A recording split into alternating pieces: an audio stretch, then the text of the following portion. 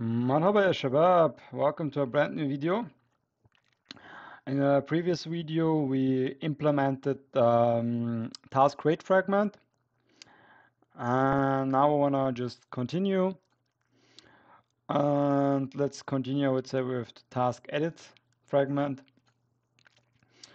Um, let us start with adding necessary fields. So this is the screen when the user want to update the task. So we need arguments for it. And would be task edit fragment arguments. And this will be provided by nav arguments. Uh, yeah. I mean, you can do it like this, or you just do it like this. Uh, wait a second. Uh, you define the type here. Close it. now That's good. I mean, both ways work, but here we also need a view model.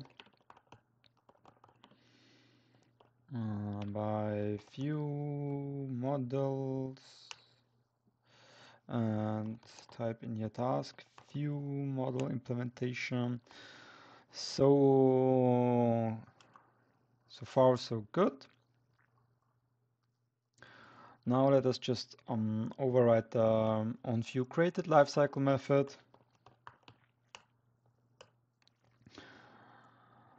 Uh, let us define a method for um, setup two-way data binding two-way data binding. And parentheses and one more method for set up the task update. Okay. Mm, now implement those. Basically what I mean with two data data binding we set up I mean as you can see uh, we get the values from here and set the values here like here we're setting it. And yeah. Mm -hmm.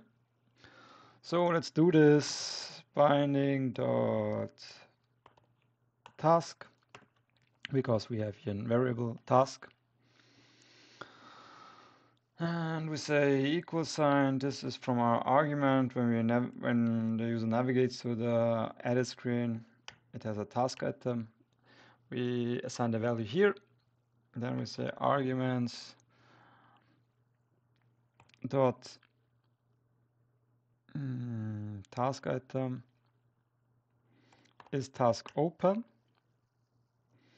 This is this can be nullable, so uh, say dot let.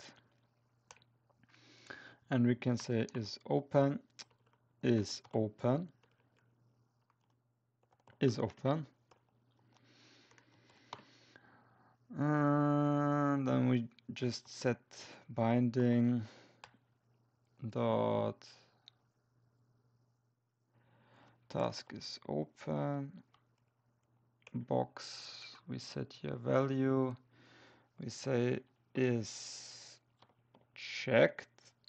And say we just say what is the value from is open.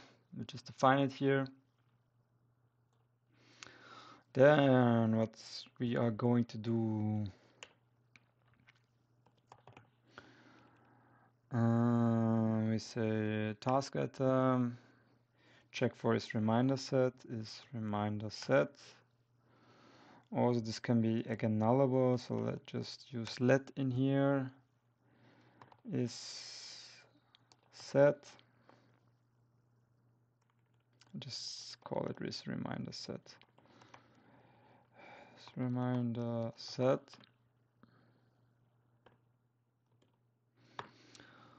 Uh, next line. Hmm, we say binding dot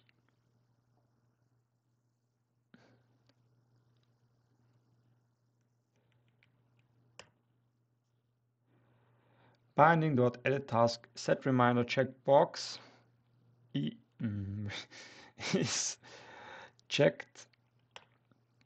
We again set it to the iterator. This reminder set. Okay.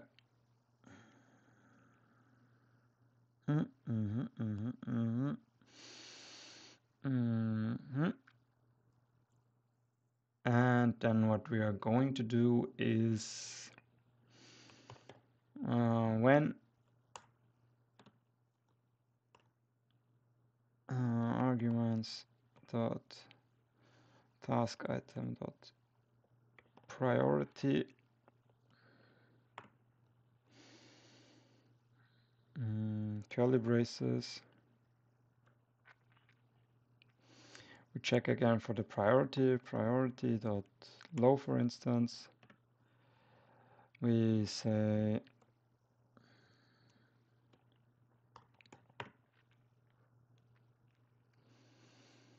uh, binding dot priority low is checked to true.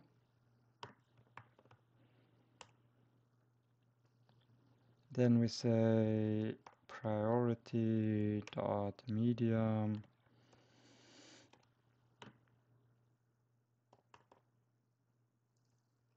Binding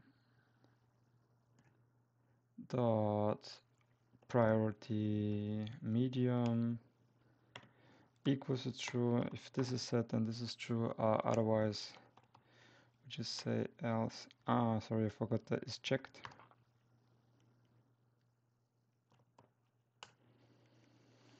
Is checked and binding dot priority high is checked true. Okay. Now we have to find this in here. Uh, now we can continue to set up the task update. Create a function. Yes. Uh, okay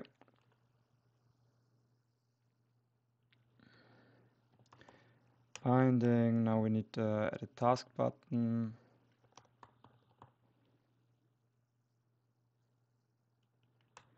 Btn dot set on click listener.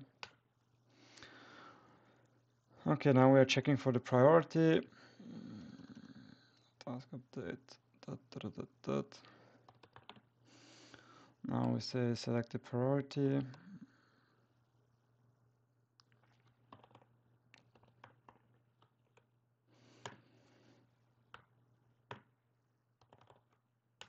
when so binding at a task group radio group.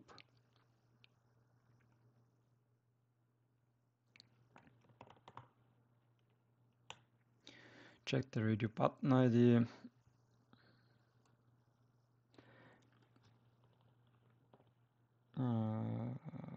disable no I don't want to go in here but uh, sorry sorry. And this checked radio button group I will show it to you. It, comes from here and it checks for priority ID priority low ID um, priority underscore medium and priority high. Okay. So that you know that we can just check it in here. Uh, okay let's start check this checks id priority. Let me just uh, import. Okay now we got it. We can say priority dot low. Okay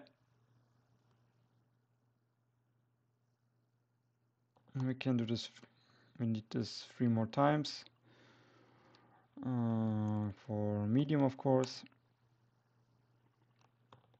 Here medium. Here for high. Here we really want to check for those cases and else we just set it to low.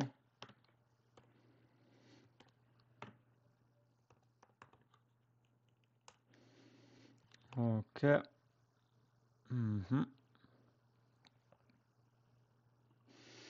here we can again say we are expecting a priority. And then we can define the update request update.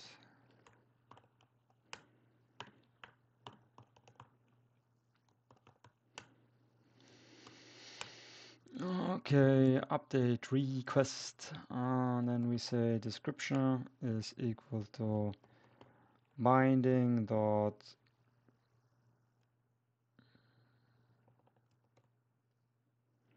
description input. The text is needed and to string. Okay. Mm -hmm, mm -hmm, mm -hmm. then we set the is reminder set. We need to set this is reminder set.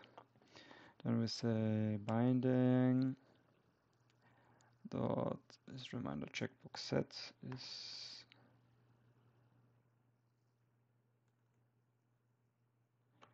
and there's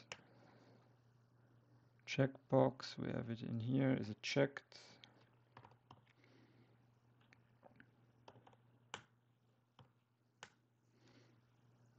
Okay is task open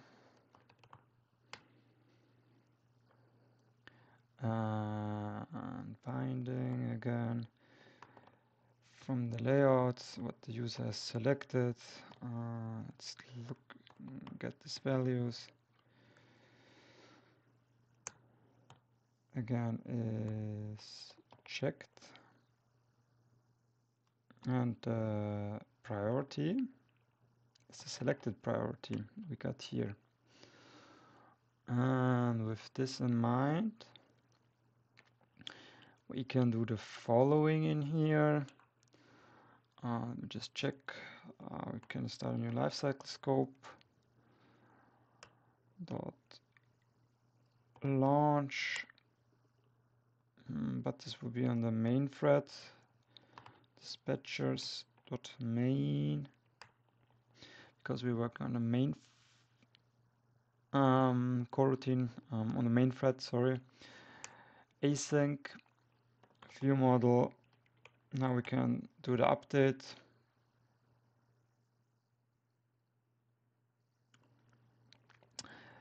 Um, here we can say update task. And of course we get uh, from, from our arguments, let's take it. This is the ID and can say to string. And here we have our update request as a second argument. And very important, after this we chain and do this await. So basically the when we it waits until this request got sent and then we navigate back to where we came from to the edit screen. But let me just rename this method. I don't like the method. Oh, I mean it's it's okay. It's okay. I mean here we just what the user selected here. Um, we're just sending, we're grabbing all the values from the UI and, and setting the request. And yeah, okay. Uh, okay, okay. I would say we are almost finished.